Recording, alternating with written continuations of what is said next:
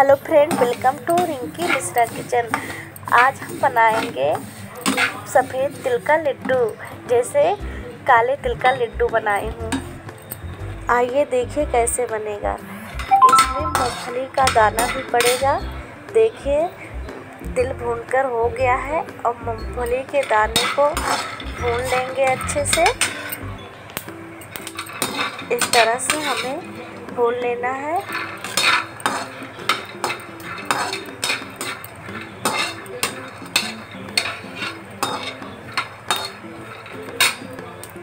देखिए, भूनकर रेडी हो गया मूँगफली का दाना। अब हम इसका छिलका निकाल लेंगे।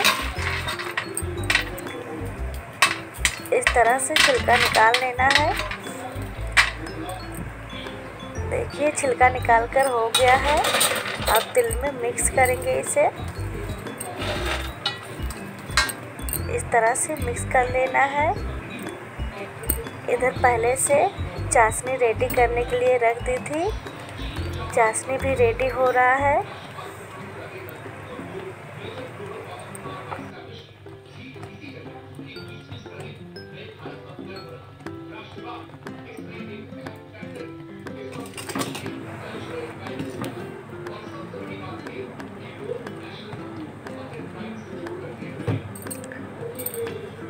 देखिए, चाशनी भी रेडी हो गया है। अब हम निकाल लेंगे इसे।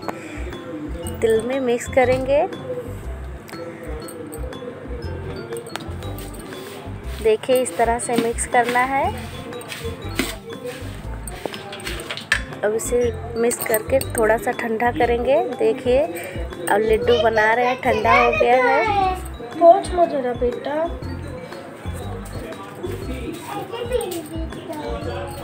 सारे लड्डू को बना लेना है।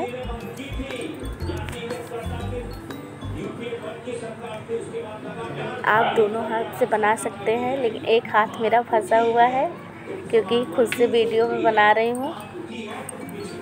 देखिए, इतना सारा लड्डू रेडी हो गया है। अभी कुछ बनाना बाकी है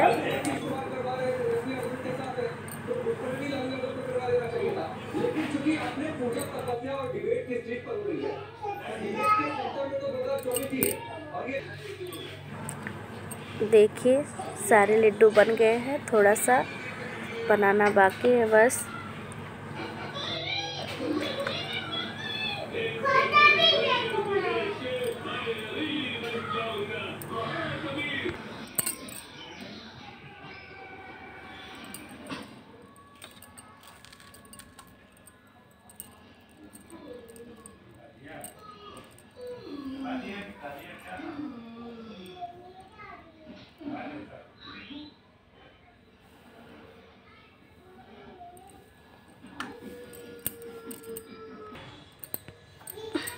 देखिए, सारे लड्डू रेडी हो गए हैं बनाकर। आप भी अपने घर पर बना के ट्राई कीजिए। Thank you everyone